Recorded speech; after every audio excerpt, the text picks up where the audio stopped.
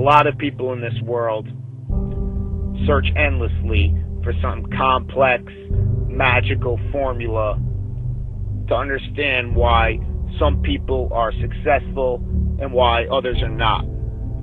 But it really just boils down to this concept of productivity. That you're going to apply the most amount of effort to the best of your ability in the allotted time that you have.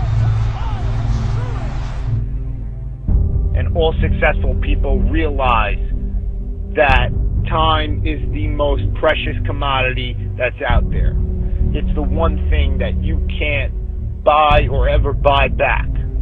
So these successful people realize that they have an allotted time to perform a given task so that they have to give it their absolute all to doing that task. Because going through the motions is the most disadvantageous thing that you can do.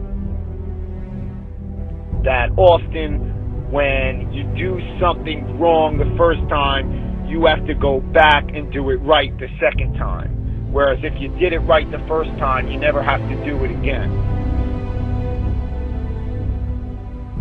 And all successful people realize that. That they're going to give it their absolute all and put in their heart and soul to any task that they do, no matter how small or how large it is. That they're going to be the best person that they could be while they're doing it. That they're going to do it right. And the major difference is that the successful people do every single task right, whereas the people who are not successful do it wrong. You know, you could look at these professional bodybuilders. Jay Cutler, Ronnie Coleman, Dexter Jackson, Flex Wheeler, Shawn Ray, Dorian Yates, Arnold Schwarzenegger. These guys are the best in their sport.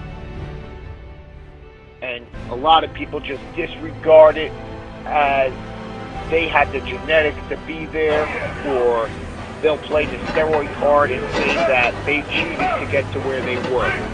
But what a lot of people don't realize is that these people gave it their heart and their soul throughout every single rep, throughout every single set,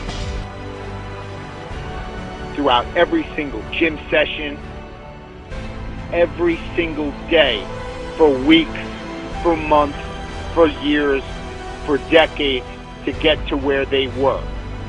That they weren't just going to go through the motions, but they were going to break through all mental barriers to get to where they wanted to be. And that's the difference successful people from those who are not. You know, a lot of people think that what they do in life is beneficial and then they get frustrated when they don't see the results that they want, that other people are getting. You know, you could say to yourself, oh, I went to the gym today, so I'm better off because of it. But the question you have to ask yourself is, what did I do in the gym today? You know, what did you do in the gym today and how did you do it?